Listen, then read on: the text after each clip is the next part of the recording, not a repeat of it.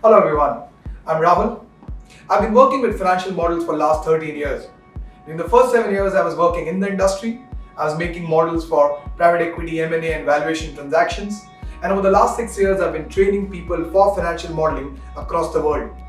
Based on my experience, what I've observed is that people have theoretical understanding. They know valuation in theory, but what they lack is practical skills. And that is exactly where our five days financial modeling masterclass is going to help you. If you want to use your theoretical concepts and apply that in real world to, to make financial decisions, the financial modeling is that skill which will help you in achieving that. Financial models are used for valuing public companies, private companies, to, to analyze M&A transactions, private equity transactions, project finance models.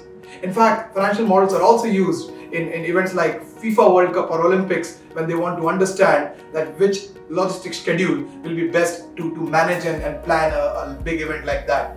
Right? So to, if you want to upgrade your skills from theory to practice, the financial modeling course is the right one for you.